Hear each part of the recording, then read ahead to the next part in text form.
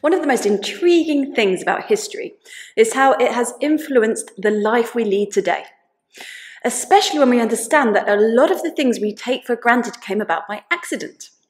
We all know how useful inventions have more than once been the byproduct of other processes, and I guess we can say the same about language, both written and spoken. English belongs to the Indo European language family, but has also incorporated vocabulary and grammar from other language groups during its evolution. Linguists think that Indo European languages began with a common ancestor, referred to as Proto Indo European, that developed either in Anatolia or the steppe region before moving both east and west. I feel an affinity with the idea of it having developed in Anatolia because that's where the oldest megaliths are. And it's hard not to see the culture that built them as extraordinarily sophisticated and influential for their time. I find it hard to believe that later megalithic cultures were not in some way connected with these ancient construction wizards. So the idea of their language traveling with them as they took their architectural techniques to other lands is rather attractive. But this video isn't about the Proto-Indo-European language. That needs a whole series. However, it's worth mentioning because in this video, I'm talking about the creation of the alphabetic script that we use to write down the English language today. It did not develop in tandem with the language that we speak, but appears to have come about as a strange quirk of fate. The earliest record of a written language comes from ancient Mesopotamia and dates to the Bronze Age. Sumerian was the language spoken by that civilization, a language isolate, which means it's not related to any other linguistic groups. The Mesopotamians wrote this language using cuneiform pictographs on clay tablets. After some time, cuneiform was used to write other languages such as Akkadian and took on syllabic elements, meaning pictures represented sounds rather than whole words, so a little more like an alphabet. Shortly after this, Egyptian hieroglyphs developed in the early Bronze Age and were mostly logographic with some syllabic parts. They consisted of more than 1,000 different characters and continued to be used in some places up until the classical period. But it was the invention of the alphabetic system that truly revolutionized the way we write because it simplified the whole process of literacy. We write English in the Latin alphabet, but there are many alphabets in use today and they all have the same origin. Around 1900 BCE, during ancient Egypt's Middle Kingdom, a series of turquoise mines in the mountains of southern Sinai gained importance on an industrial scale. Expeditions to the mines were frequent, and people from many different strata of society were involved in their success. The area where the mines are located is known as Serabit el Khadim. For 800 years, a temple to Hathor, built near the mines, offered spiritual protection to those working in them and making the long journeys to and from this desert region.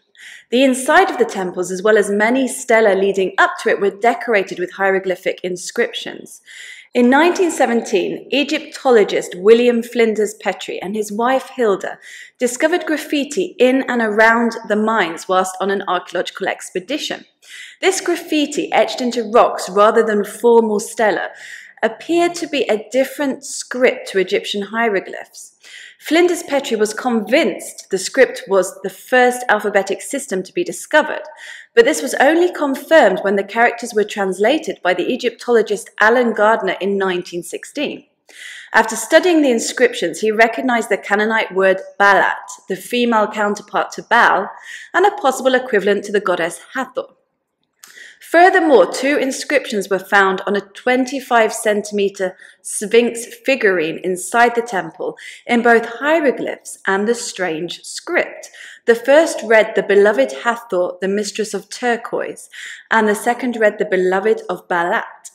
It became apparent that the strange script was in fact a simplified version of hieroglyphs, but instead of a sign representing a word, it represented a consonant only. This was the first alphabetic script and is known by experts as Proto-Sinaitic. It's most likely that these graffiti first appeared during the reign of Amenemhet III in the Middle Bronze Age. There is some debate as to who made these inscriptions, who invented the alphabet at these turquoise mines in the Sinai Desert. The general consensus is that it was created by Asiatic people, most likely of Canaanite origin. At that time in Egypt, many Asiatic people lived in the Eastern Delta region, and there are records of Egyptians discussing their mixed parentage.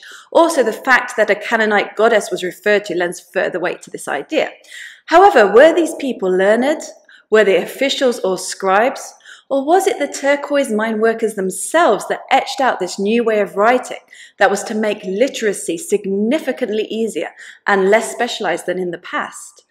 Both are possible, but the crude and inconsistent forms of these early letters have led some scholars to suggest that it was the turquoise miners themselves who, barely literate in hieroglyphics, used them as a basis for a simplified writing system to note down inscriptions in their own language.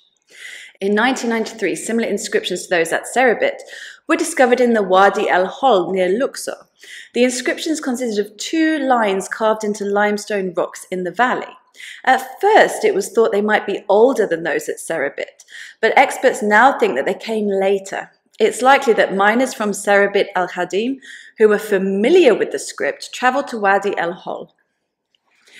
It took a mighty long time before alphabetic scripts caught on. It's not entirely clear how they travelled from Serabit al Khadim to other areas, but it was probably via Canaanite caravans. So, exactly how did our modern day alphabets evolve from these Middle Bronze Age etchings? Here are a few fascinating examples of how some of the letters in the Latin alphabet came to be over many years.